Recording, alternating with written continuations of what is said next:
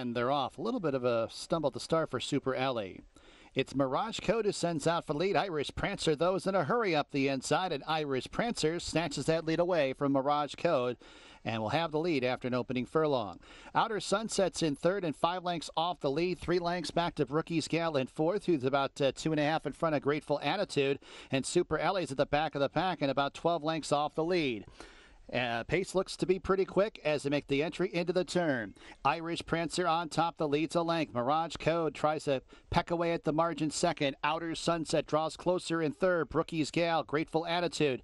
Fourth and fifth, and three lengths back to Super Ellie Trails as they wind their way to the quarter pole. And it's Irish Prancer who is ganged up by the others, including Mirage Code, Outer Sunset three wide, and Brookie's Gal on the grandstand side. Grateful Attitude will attempt to split rivals as they run down to the final furlong. It's Brookie's Gal who now takes the lead. Outer Sunset, Grateful Attitude, and here's Super Ellie on the far outside. Super Ellie flying late, four horses to the finish. Brookie's side, Brookie's Gal.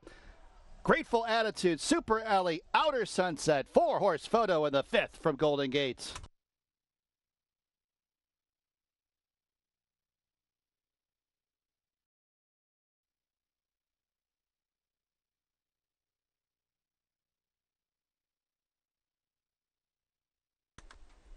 Here's the replay.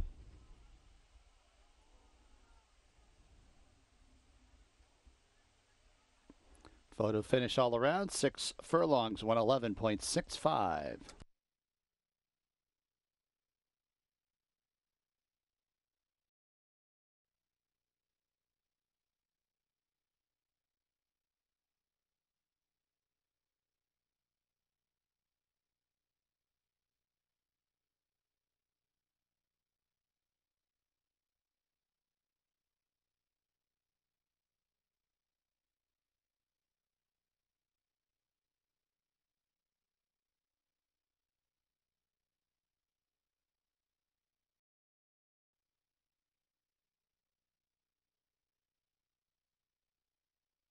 Number five.